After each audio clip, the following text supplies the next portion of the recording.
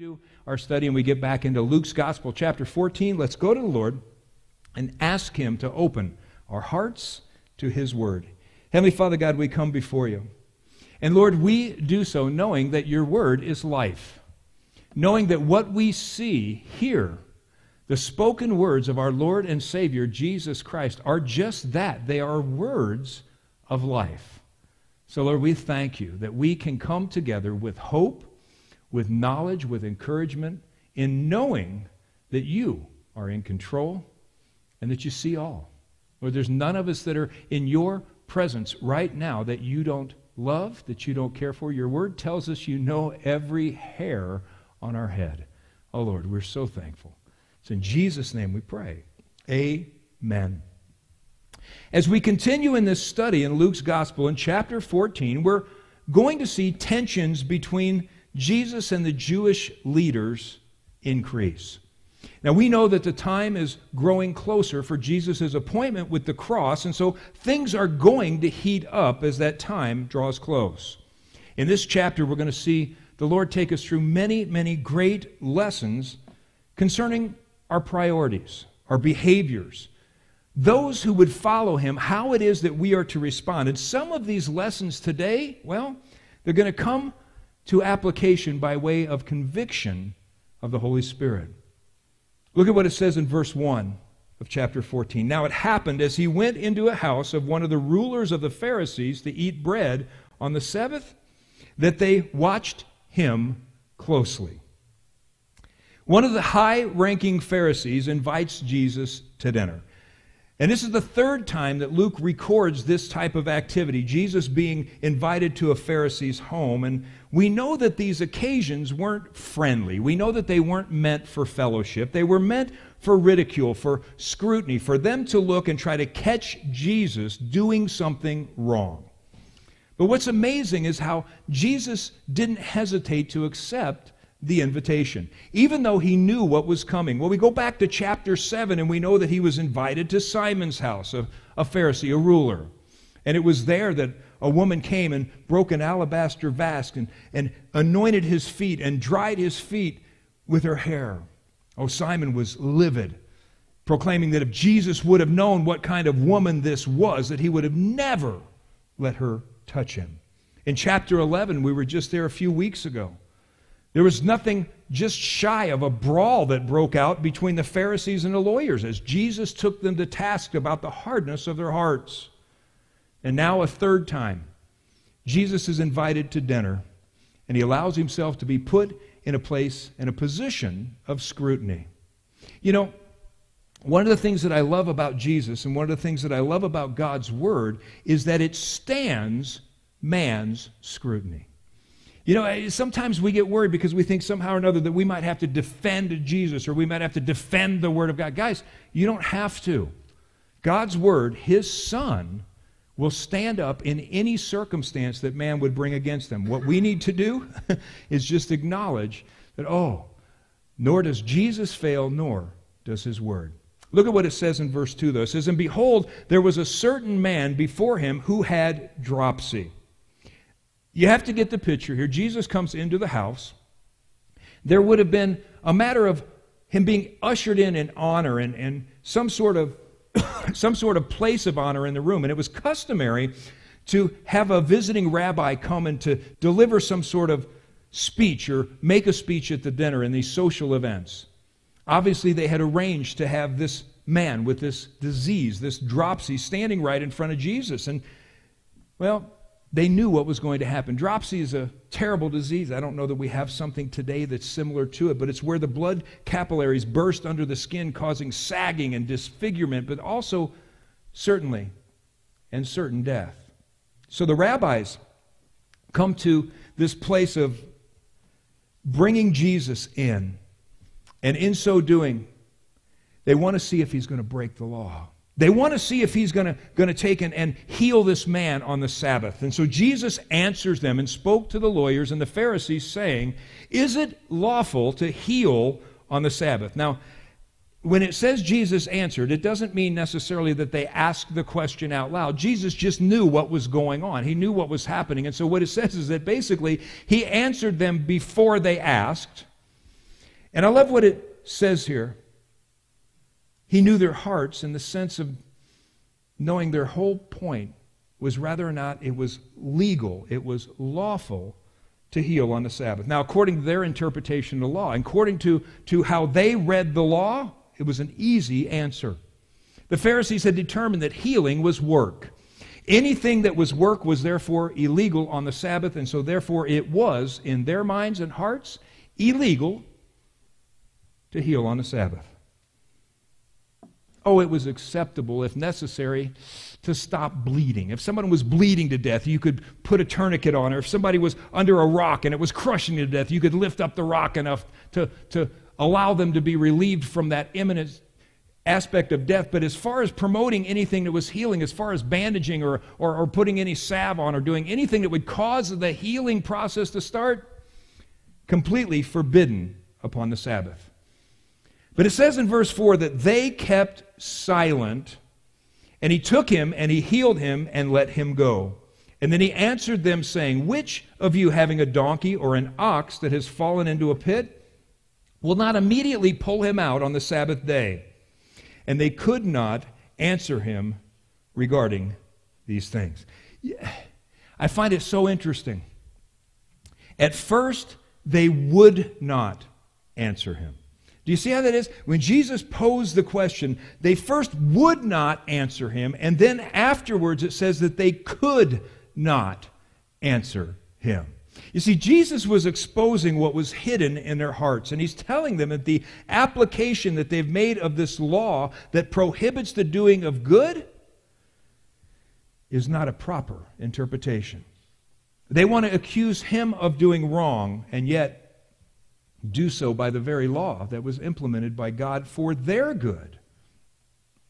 He says, You guys show more compassion to a donkey or to an ox that would fall in a hole than you would to this man who is in desperate need of the healing from God. You know, we talk about how the law was this enormous burden for the Jews. And, and, and even though it was mostly through their own interpretations that they brought all of these constraints and all of this regulation and all of this hardship upon the people. But, guys, we see a lot of the same thing happening today in our modern culture, in many organized religions. There's many religions that will place rules and regulations on the behaviors of people in order to try to control them, in order to try to have them control their behavior and somehow please God. It leads to a work driven relationship, one of trying and failing, only to try and fail again. But yet, just as dangerous as too many regulations may be in the life of a believer, a total abandonment of any restraint is also not good. A lot of Christians have the mindset that because Christ is always faithful to forgive, that they can do whatever they want. Nothing's off limits. Nothing's illegal. Oh, the Apostle Paul told us that all things are lawful, but not everything's good for you. That's Gary's take on it. But the idea is, is that there's not this aspect of trying to figure out how to stay on which side of it. We're told that we're supposed to have a mindset that would allow us to do that which is good, not because of rule, not because of regulation, not because of something we practice, but because of love. The Apostle Paul in 2 Corinthians in chapter 5, verse 14 says, For the love of Christ compels us, because we judge thus that if one died for all, then all died. Paul's saying that it's the love for Christ, it's the love we have for Christ based on his love displayed to us first that constrains us, that causes us to seek to do that which is good. And Scripture clearly identifies that the standard for Christian conduct behavior is not just a matter of right and wrong, especially right, as, right and wrong as we would see it. The standard for Christian conduct, conduct is what brings the glory of God based on our genuine love for Jesus Christ. If we really love Christ, if we're really grateful for salvation, we will strive to do that which brings Him glory, brings Him on honor, not just striving after the fulfillment of some sort of rule or regulation or legal requirement.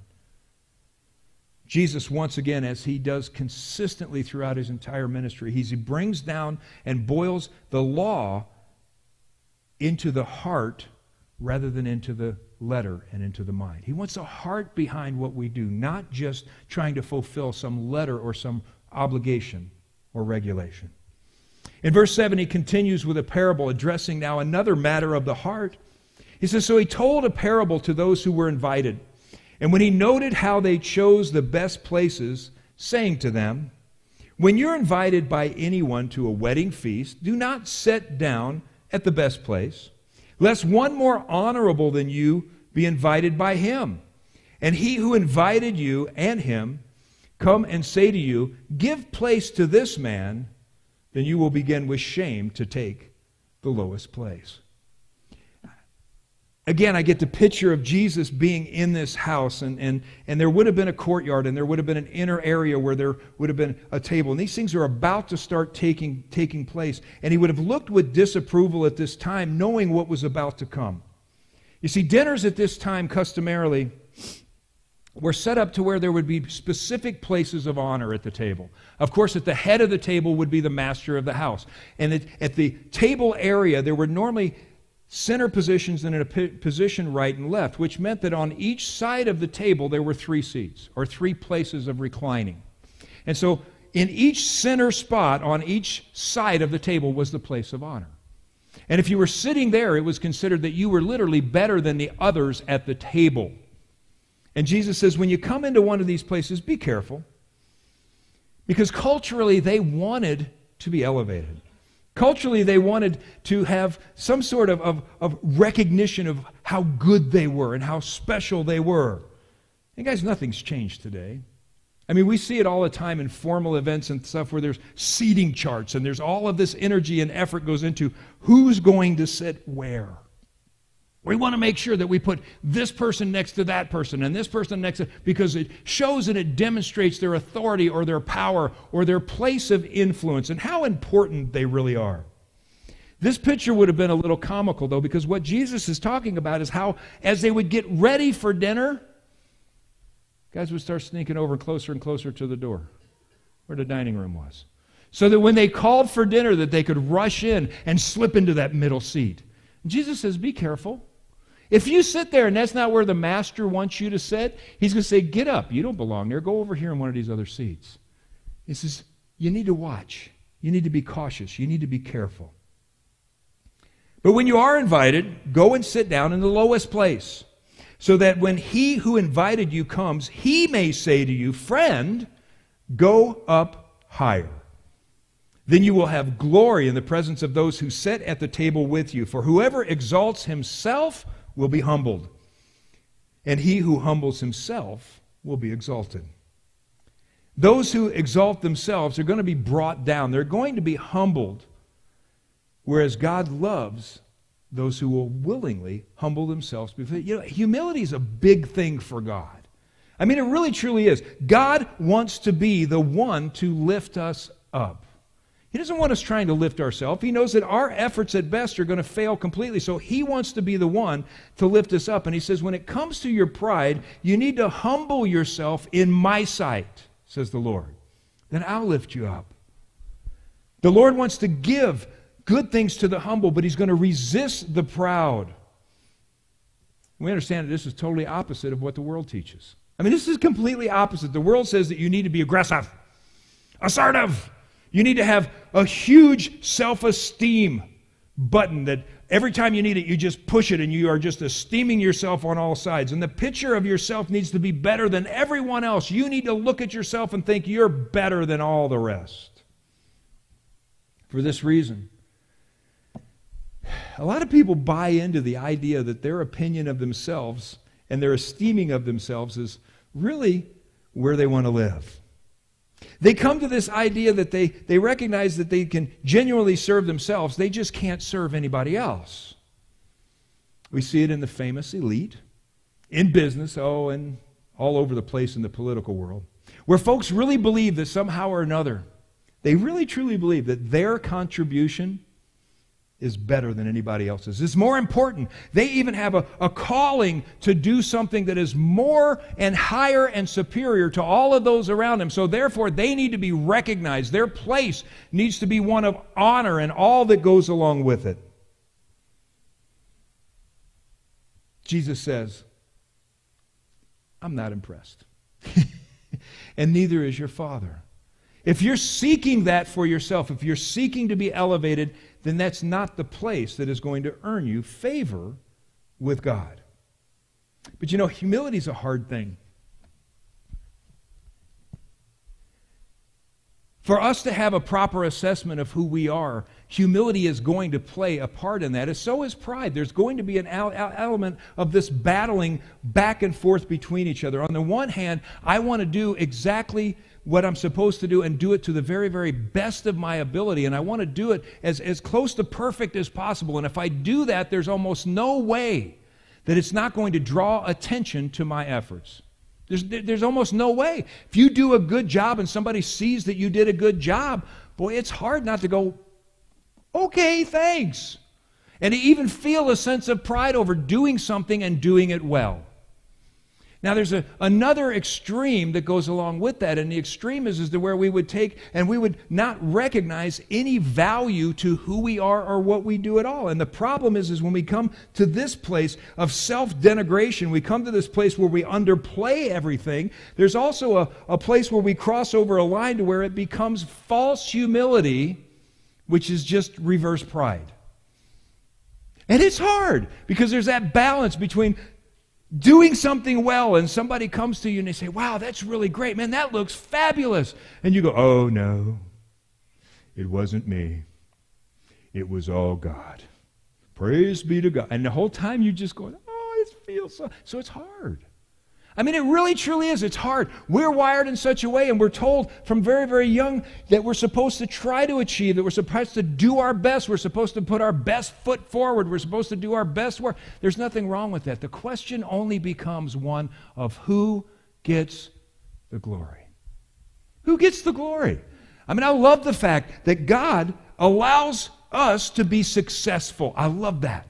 I love that God will pour into it and He'll use gifts and He'll use talents and He'll, he'll use His Spirit in the sense of bringing to our hearts and to our minds this sense of accountability and responsibility in the areas in which we're to excel. And it's all because God has a plan and a usefulness for us. It's never wrong to take great pride in knowing that God is using you for the kingdom.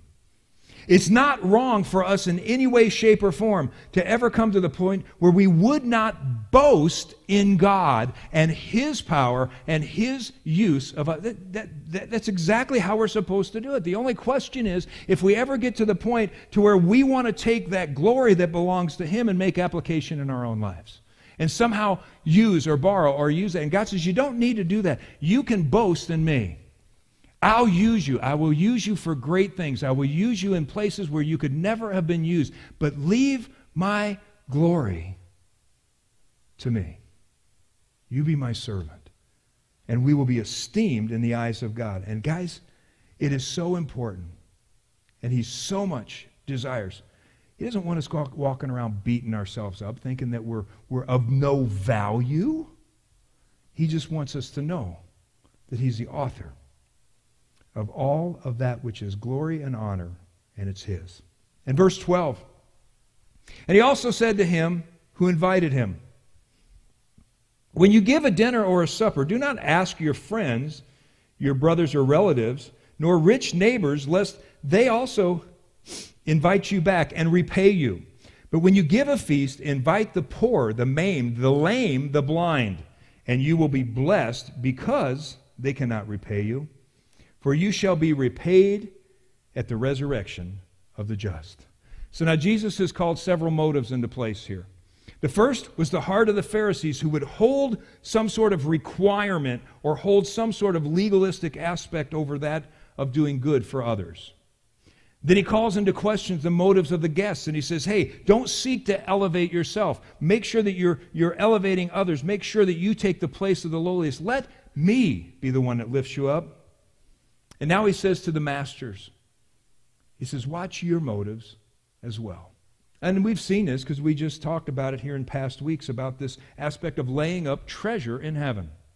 About how it is that that which we would take and, and, and try to accumulate on earth is not that which has got any real internal value. What God, good is it is if, if we only serve those who serve us back. Now understand, again, this is, this is a hallmark of the world. That if we want to climb the social ladder, that if we want to get into the group with the shakers and the movers, if we want to be able to excel, if we want to move up in our social class or in our economic class or in our financial areas or, or in business, that we need to be positioning ourselves next to the shakers and the movers. It's the political season. And we're going to have candidates that are going to want to woo us and tell us how much they're going to do for us. And they, they would come, actually, they'd already be here if the doors were open, so it's almost kind of like a blessing. Because all of a sudden they come to church and they want to shake hands and they want to they want to be seen in circles and they want to talk about how they're going to do things the way that we would want them to do it and all they're doing is trying to posture and position themselves in such a way that they can influence us by virtue of aligning with us and guys, that goes with anything. It's so much within business, not a matter of what you know, but we've heard it. It's about who you know. Oh. Well, guys, think about this for a minute. We know the ultimate who. It is about who you know. And who we know, and who is also one who knows us, is Jesus Christ. It's amazing how many folks will spend just enormous amounts of money to try to throw some sort of event to where they can invite people for the sole purpose of being in the proximity of around somebody that's famous. Do you realize that there's people that have become famous just because they hang out around people that are famous? Have you ever thought about how some of these celebrities got to be celebrities? Like, what, what does this guy do? This guy or this person does nothing except hang out around other people that do. So they're famous, be, famous for being famous, and that's all they're good for. Remember a few years back? Oh, it was under another administration. There were some folks that crashed a party at the White House. Do you remember that? They got all dressed up, right? And they, they went walking in like they belonged there. And it's funny because they had like the, the whole reception thing and they, they had the cameras on them. And these folks, they showed them, they come cruising through and they just, they looked like they belonged there. And they got all the way in, and they were able to take and socialize within the, within the. I don't think they even really found out about it until after the event. And the people that put on the show were appalled. Not only had these people come to an event that they were not worthy to attend, but they had gotten past security. They just waltzed in like they belonged there. They looked like the rest of the beautiful people that were showing up at a beautiful event, but they got so bent out of shape. And it wasn't even the fact that they got in, it wasn't the fact that they got past the, the security or anything else. What really bothered them, they didn't belong there. These people dressed up and acted like people that were worthy to go to the White House, but they weren't worthy to be there. And those that were, got very, very upset that these commoners, these lowly life forms, crashed their party. How sad it is when we try to impress man that God's not impressed at all. God says, as a matter of fact, you need to do something for those that can't do anything for you. We used to have a, used to have, still have an expression that says, that I love you for nothing. I love you for nothing. Well, now it's great to love somebody because of what they do for you or for what they will give back. And it's great to love and to have somebody love you back. That's reciprocal aspect of a relationship is wonderful. But we're supposed to be able to look at somebody and say, regardless of what you can provide me, regardless of what you give me, regardless of what you take from me, and never return. I love you. I love you for nothing. That's what Jesus did. You see, we can't hold any other standard because Jesus loves us, loved us to death in order to secure us, and we still can't give anything back that's of any value. We still can't give anything back that, that, that takes and, and, and increases who He is. All we can do is demonstrate our love and faithfulness to Him. It's so important. One of the things that has become glaringly apparent. Now, I know that we're missing certain things right now culturally. I mean, there hasn't been any sports. So the athletes that are normally everywhere influencing and, and, and using their position and their posture in order to be able to take and, and to do a, a message, be it good or not so much, it doesn't matter. Have you noticed that they haven't been out there lately? Has anybody really missed their contribution? I haven't missed any of the movie stars or celebrity and, and their insightful commentary concerning world issues. Now, they keep trying to, do by virtue of doing commercials from time to time to stay relevant, but the, the, the reality is, is we haven't missed them much or the things that they contribute because their contribution really isn't that much, is it? But don't be afraid. As soon as things open up, especially since we're in an election year, they will be flooding the airways with their valuable commentary and insights on how it is that we should operate and how the country should be. So they'll be back. I mean, they're already starting to crawl out from under the places in which they inhabit in order to do so. So be careful. They are coming back.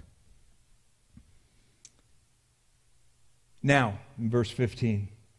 When one of those that sat at the table with him heard these things, he said to him, Blessed is he who shall eat bread in the kingdom of God.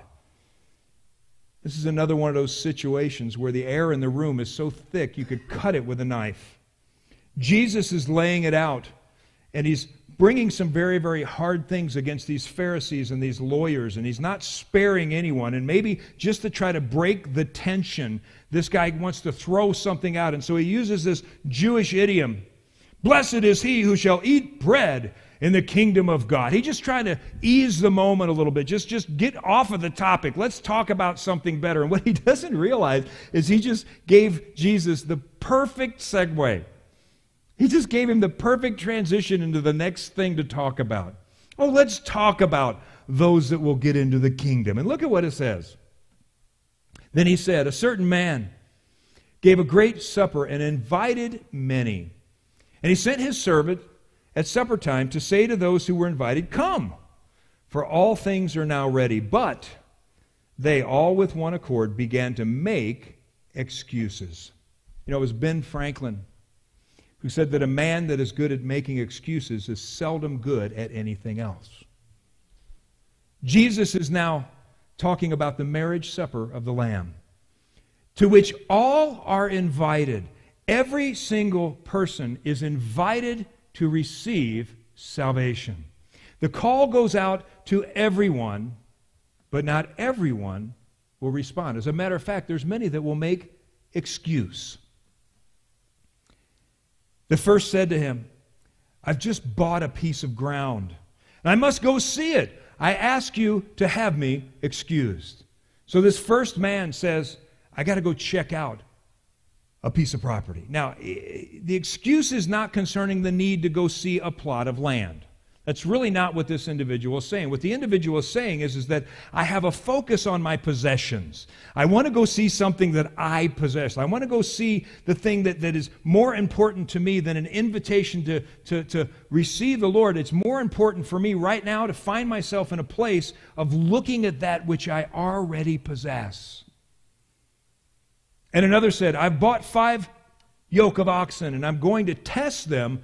I ask you to have me excused. The second says, Hey, I just bought a new work truck.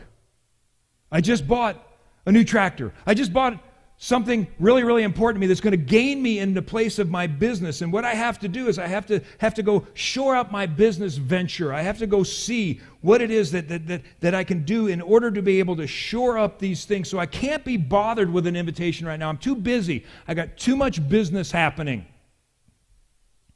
The third says, I have married a wife and therefore I cannot come. This is a real winner. My wife won't let me. I mean, that's really what he's saying. I, have got, I've got all of these worries. I've got all of this natural affection for the things of the world, and they're taking priority over the invitation that Jesus has given and extended to me for salvation. And oh, it's not just about wives, it's about this natural affection. I've heard tons of excuses as to why people don't answer the invitation of Christ. Of course, the greatest and the most daunting aspect of this is the rejection of salvation. And that's really what is happening as Jesus is establishing to, to the Jews that were there, to the leaders, to the Pharisees, to the, to the lawyers, that, that you've been extended an invitation and you're too busy with your own stuff. You're going to miss salvation because you're not going to come to this, to this dinner, to this feast that is being provided. Because I see another application to this. I see a connection to our lives as Christians because I think that there's times when we too allow our, our priorities to fall to our possessions or our business or our natural affection. Now, this is going to cause a few of you to get ruffled. But I've heard people say, well, you know, ever since we bought the, and you get to fill it in. Could be the boat, the motorhome, the quads, the toys, the whatever. But ever since we bought those, you know, the only time that we have to use those is on the weekends. And so I have to go out and I got to make sure that those things are working right. And besides that, it's the only time that I'm not working. And during the week, I don't really have any time for things of the Lord. So I've got to, I've got to make sure that I work all week, and then the weekends, time. that's my family time. And isn't that important to the Lord? Of course it is. Or the job is just so overwhelming. I can't, I can't see my way clear. There's so many things that are happening right now. Maybe, maybe it's a matter of just trying to excel from one point to another. I'm trying to elevate this, and the Lord understands because He's providing me this path. And the whole time, I believe that what the Lord would say is, No, no, no. I've invited you to come spend time with me. I am so thrilled with the prospect of us being able to come back together. I miss you guys.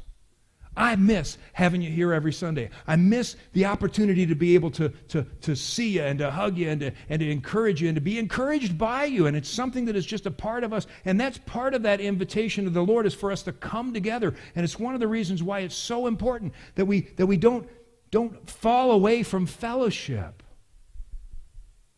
And it'll be okay. We're getting back. But the reality is, we need to never allow our priorities to fall into our possessions or on a business or even on natural affections above and beyond the things of the Lord. In verse 21, it says, And so that servant came and reported these things to his master. Then the master of the house, being angry, said to his servant, Go out quickly into the streets and the lanes of the city, and bring in here the poor, and the maimed, and the lame, and the blind. And the servant said, Master, it is done as you commanded, and we still have room. Then the master said to his servant, Go out into the highways and the hedges, and compel them to come in, that my house may be filled. For I say to you that none of these men who were invited shall taste my supper. Do you know who he's talking about when he says the poor, the maimed, the lame, and the blind? That's me. That's you.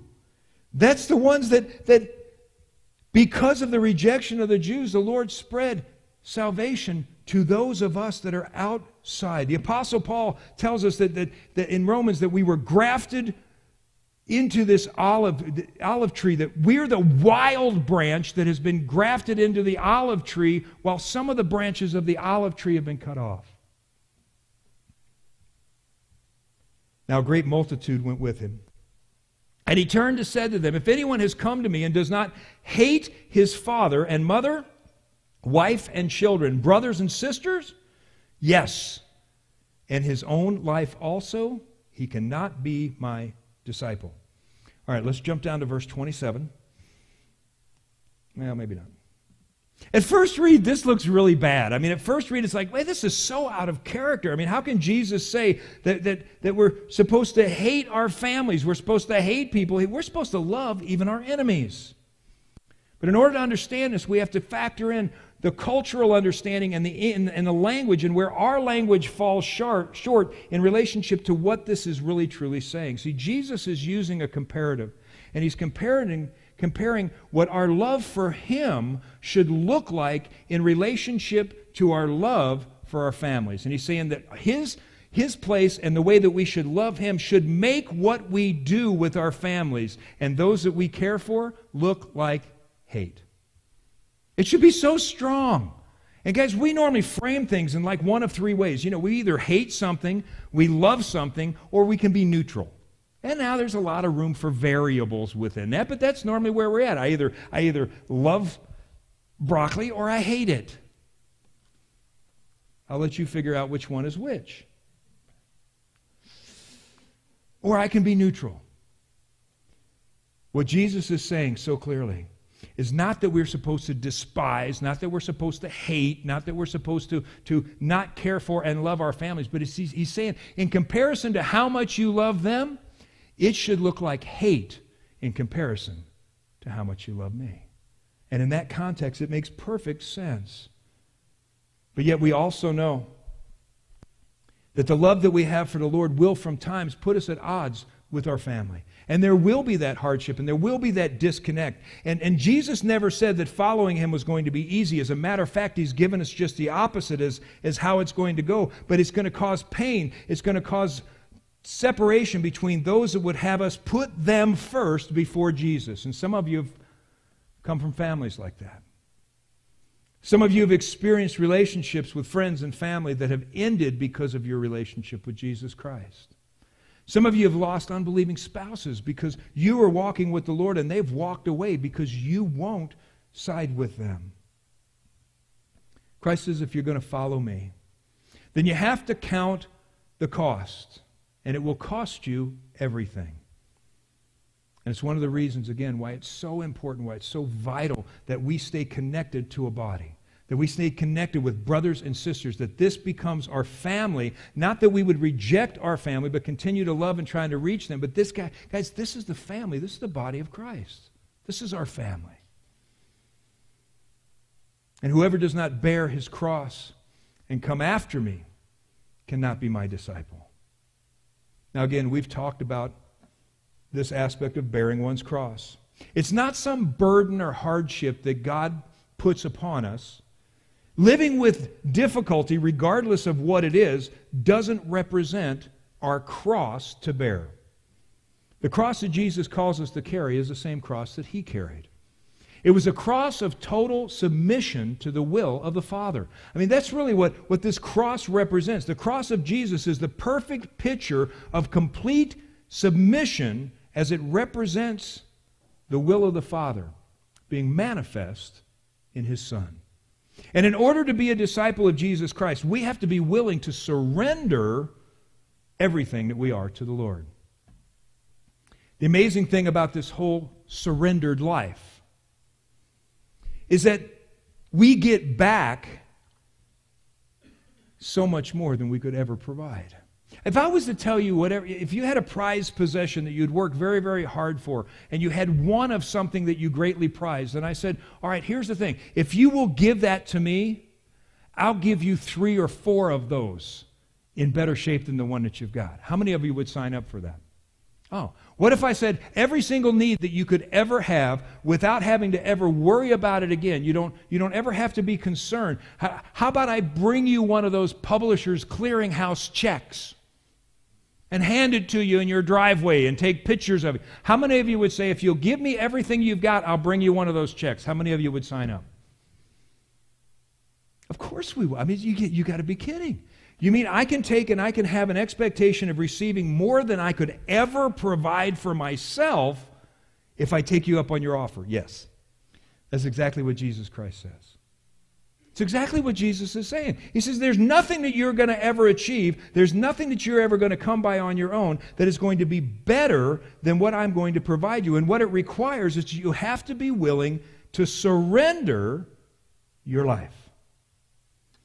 And in the exchange, you'll receive everything that I am rather than just everything that you want to be. And then he goes on and he says that we need to do the math. Look at what it says in verse 28. For which of you intending to build a tower does not sit down first and count the cost? Rather, he has enough to finish it. At least after he has laid the foundation and is not able to finish, all who see it begin to mock him, saying, This man began to build and was not able to finish. Christ used another parable in describing this building of a tower. And these towers were, were very common in the vineyards. And what they would do is they would build this elevated on, on the side of a hill or something tower in which the owner or the, the, the, the, manager could live in during the time of harvest and he could observe and he could watch everything that was happening in the vineyard. And it was an important aspect. But what he's talking about here is he says, How is it, how is it that, that, that you would go into a building without counting the cost? Jesus says, Follow me and count the cost. Now, the problem is, is that we often look at this as some sort of deficit spending kind of thing. Okay, if I'm going to follow Jesus, I got to give up everything and then I got to settle for less. Okay, so what's the downside? I got, I got to see what the downsides are. What am I really going to give up here in order for me to follow Jesus and see if I'm willing to do that? I want to count the cost. And guys, that's not what Jesus is saying at all. That's what Jesus is saying. A better understanding of this would be that we would look at the difference to what we bring to the table and what he brings to the table. To count the cost means that we look up and we look to what he offers and compared to what we have. I says, You would be crazy to try to build something that you are building on your own without having the means. How do we receive the means?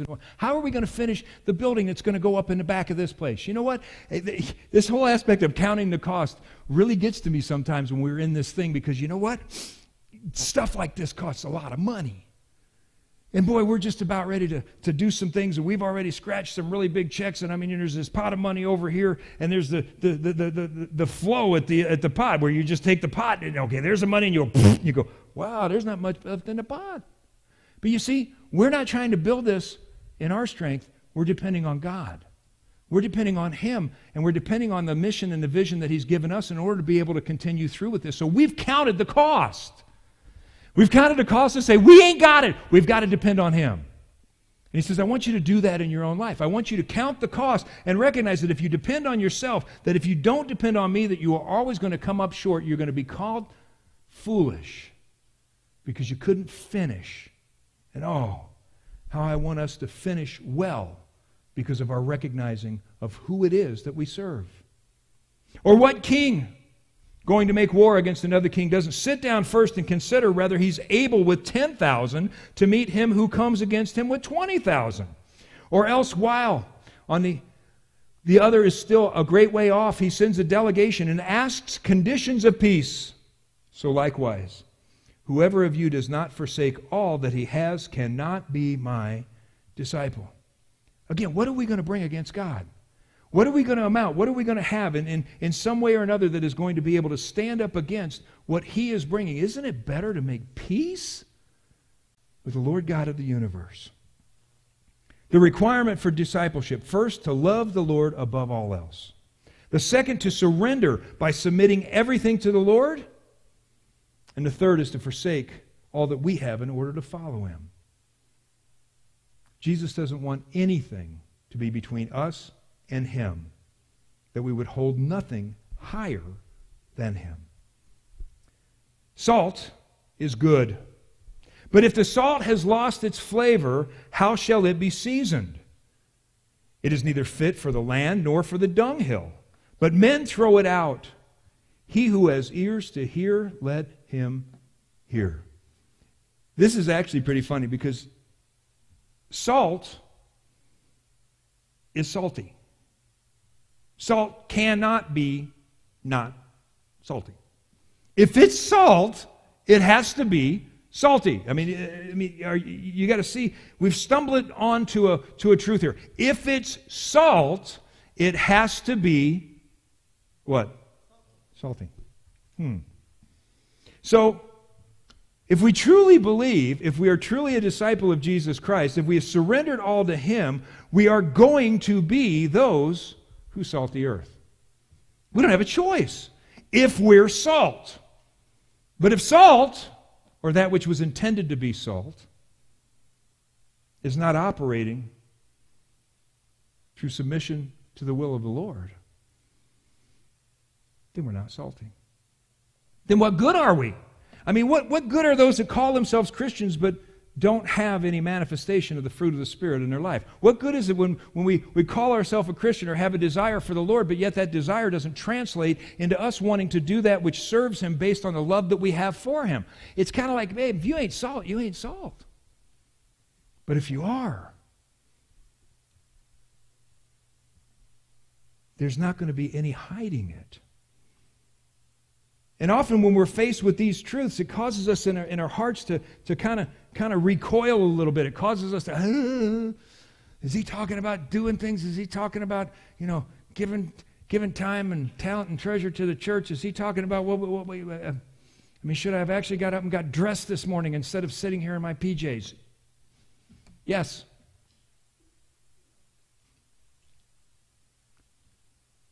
But see, that's called conviction. And I would be more worried if it didn't bother you than if the Holy Spirit would take it, he'd knock on your heart and he'd say, Hey, how salty are you today? How salty are you right now? Are you really being salt? Because see, salt has this incredible property. Salt not only adds flavor to things, it preserves.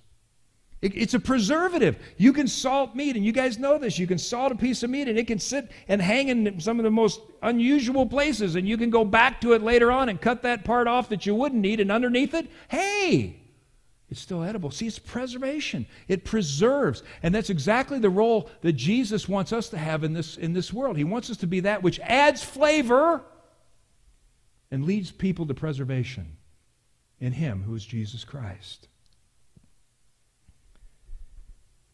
So, what do we learn today? Well, first, Jesus wants us to be careful. He wants us not to let our rules and our regulations overrule our hearts for others. So be careful that you don't make some sort of application that excludes the doing of good for others. He wants us to be humble, seeking to serve rather than to be served. And then He wants to be the one who raises us up he wants to be the one, based on us coming to Him in submission, that allows then Him to be the lifter of everything that we are. He wants us to surrender everything, just as He did in seeking the will of the Father. And then He wants us to be salty. I mean, He wants us to add that flavor to the lives of the people of the world and to be that which would be preserving them by virtue of leading them to the only one in which salvation can be found. Guys, as we get ready to close today, I want to just share a few thoughts with you concerning where we are in this whole process. It's been a long time since we've been together. It's, it, it's, it's two months, and it looks like it could be still weeks down the road in relationship to any process of coming back in and, and coming together. And so I want to give you a few thoughts that I've had. First off, I got to tell you, there's been times during this whole process when I've kind of got down when I've kind of got beat up, when I've even got mad and angry at what I see going on in the world. And, and, and what happens is, is that I wind up being frustrated, even to the point of anger. And what I find is it's the difference between where it is that I'm getting my information and where I'm listening to. Hmm. It's really easy to just listen to all what's happening in the world and all that's coming through the news channel, regardless of what news channel you listen to. And find yourself just coming to this place of total frustration and anger. And, and, and what I would challenge you with is I would listen for the voice of the Holy Spirit and, and, and let Him speak to you and ask you about if you're being salty or not. Is that salt or is that something else that you're exhibiting that's coming out of you? I want to encourage you that if you start feeling that way, that you would move back into a place of closer relationship with Jesus Christ, that you would move back into His Word, that you would move back into worship, that you would move back into a place of prayer. Now, with that in mind, we're going to start doing some things around here that we're allowed to do based on what the latest recommendations and orders that are coming out of the the government. Monday through Thursday of this week, from 10 in the morning until 2, the doors of the church are going to be open. And they're going to be open for anyone that wants to come here for prayer. And we're going to maintain social distancing and we're going to maintain proper sanitation levels and those type of things. But if you want to come, and it's not a set time for worship, it doesn't mean it starts at 10 or 9 and, or 10 o'clock and goes to 2. It means that between the hours, Monday, Tuesday, Wednesday, Thursday, of 10 o'clock to 2 o'clock, that there'll be someone here one of the elders or one of the pastors to pray with you. If you want to just come and you want to just sit in the sanctuary and you just want to pray, there'll be a place for you to do that. Now, it isn't about the place that makes the prayer right, but there is something about coming to the house of the Lord and, and being able to, to be here again in your presence. And so I want to encourage you that if that's you, if that's something that you that you would like to do, then I want to encourage you to do that. And it will be safe. It will be okay for you to be able to come in. We're going to have a, a communion table that's set here. If you want to come and you want to take communion, you can do so. If you meet up with one of the pastors or one of the elders and you want them to, they will lead you in communion and pray with you. They just won't get real close to you because we're going to maintain doing that which we've been told we're supposed to do. But we're going to start seeing the opportunity to come back into God's house, as we will this afternoon, here in just a few moments. The other thing that I want to share with you is I want to talk to you about next week's service. Next week's service, we are doing Drive In Church. Now I got to tell you what, I kind of avoided doing this to begin with because I thought, man, we just we're going to open up and it's going to be good. But you know what? We need to come together. We need to raise raise our voices from this place, from God's house, and from from this location. So here's how it's going to work. Next week at the nine o'clock service, we're going to open the gate at about eight thirty. And at 8:30, anybody that's lined up, anybody that wants to, is going to be able to come in, and we're going to do a live drive-in service in the back parking lot. And we'll have it all set up, and you don't have to worry about how it's going to work. We'll direct you when you come in. You'll know how it works, and there'll be a set of guidelines on how it is that we're supposed to do this. But we'll be able to see each other. You may have to stay in your car, but you'll be able to wave at your neighbor. Right? Now, what I can't guarantee is that we can arrange the cars in the same place you sat in the sanctuary. If you drive a big truck, you'll probably have to go towards the back so that the people in the front can see. So if you're going to be in a, in a sedan, we may choose you first to come in through the gate and organize it a little bit better. But we're going to open up and we're going to be able to roll down the windows and we're going to be able to play worship off of the, the, the, the back of the, the, the stage out there, and we're going to be able to do so in such a way that God's people can raise their voices collectively in worship to Him. So we're going to do that next week. There'll be a lot more information. I'll be talking about it all week on Facebook, and we'll be giving you direction and stuff. So you don't need to call. You don't need to worry about, well, what do I do? What do I do? All you got to do is get in your car and show up here next week around 8.30, and you'll get in for the service because we'll put in as many folks as show up. So if that's you, be praying about that. Be praying about the preparation for that because we are so thrilled to start looking forward to a time when we can come back together and worship and fellowship. The deployment is about over. the time of which we would have been called away from this house and being able to come back, well, is slowly but continually advancing. So let's pray. Heavenly Father.